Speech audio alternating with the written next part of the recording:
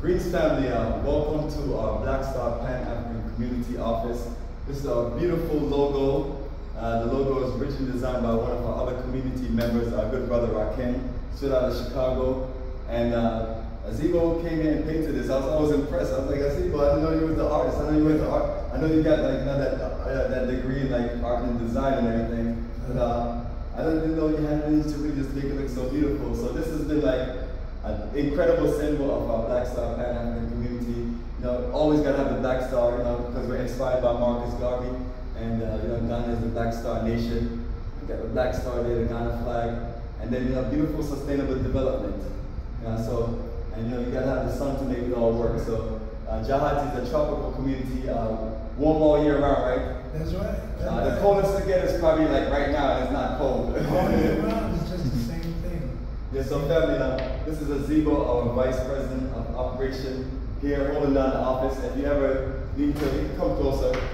You come closer. If you ever need uh, to come by the property and see it and check it out, uh, you can always make arrangement with myself to connect with Azibo to where it'll take you to see the, the property and show you around. Uh, you have to be uh, serious because uh, you know we're serious people and that's why we share with you and we do it on video. Uh, so we have two of our other members. Uh, uh, you know, we have the, uh, uh, which what name you want to go by? My name You want to go by your name or your alias? My name is Prince. Uh, That is the name I go by, sir. Alright, so can I call you Prince Charles? Yes, you can.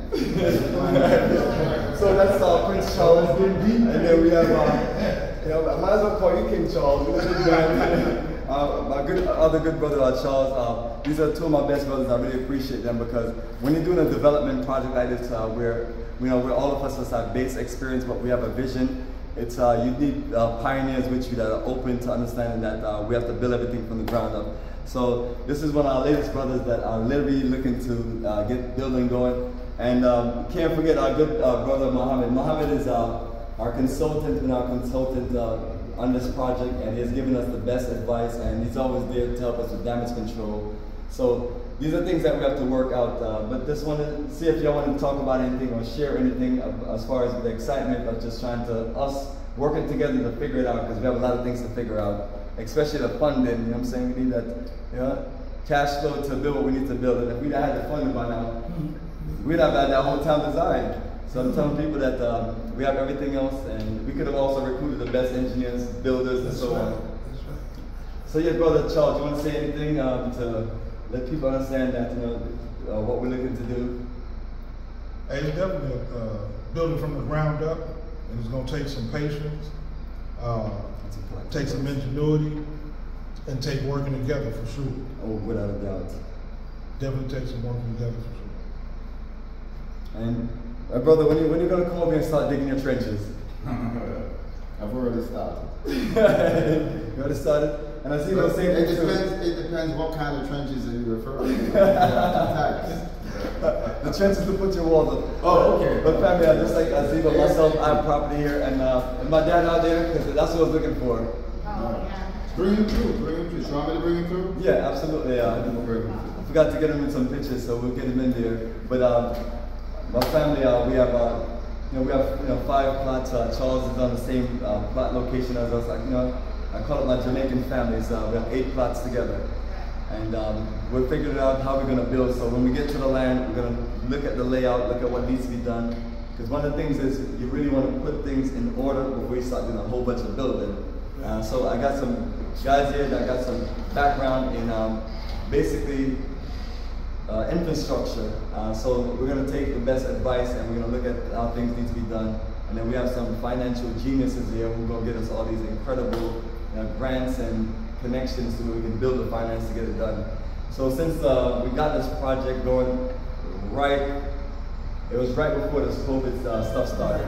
So we've been hanging in there, and now that it's kind of you know chilled out, and we have more people come to Ghana, uh, we're here to take it to that next level. Uh, and so my dad is coming. Uh, I think he has the wrong shirt on. The shirt say Liberia, but we're not in Liberia, family. We're still in Ghana. Ghana Repatriation Investment Tour. If you come on, I meant to tell you you have the wrong shirt on today. Let me stick one. I'm sure everyone said Yeah, was, uh, yeah. So um, this is my dad right here, and um, Charlie, and we're, so you got a bunch of Charlie and Charles, right? yeah. But uh, we have we have we have a few plots and then that's our goal. Our goal is to you know work to where we can build something uh, in our level of comfort, and that's why I showed the video earlier with all the flaws in this project here uh, to let you know that uh, we're not coming to duplicate the same situation. We're coming to elevate things because you know I, I know a lot of people who, who literally want to live in Africa, but it's you know it's uh, the disclaimer for them or the the situation for them, or I should say. Uh, the deal breaker for them uh, would be the fact that they don't have the level of comfort that they're looking for.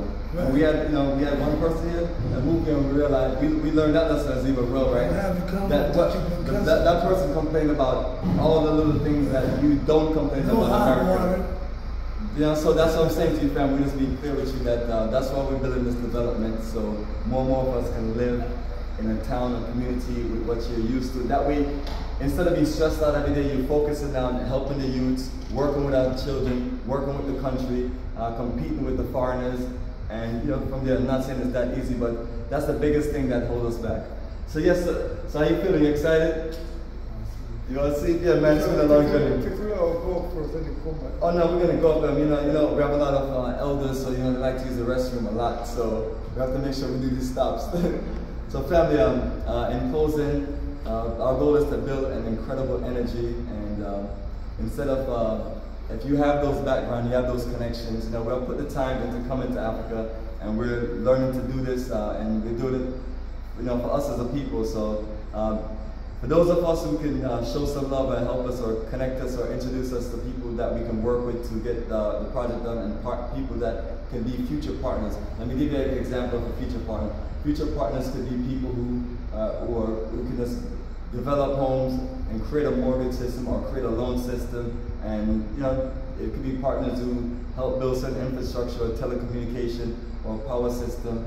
Um, so if you're, you know, you're out there, reach out to us and link us and uh, let's work together and make it happen because from here once we design what we're doing here you know then you have the rest of ghana how much of our people that's building different communities and they realize that okay i'll build my house but then i don't have no infrastructure and things like that so those are things that we're looking to really talk about uh, especially on this journey uh, so family once again the journey continues and this is bomani signing off uh, and this is our you know, this is our last year journey shirt, uh, Ghana May 2023, but it's uh, July 2024. And just let you know, family, we're working at it. So uh, don't be a hater, support us. And uh, if you can't uh, support us, don't be a hater. Appreciate that, your family.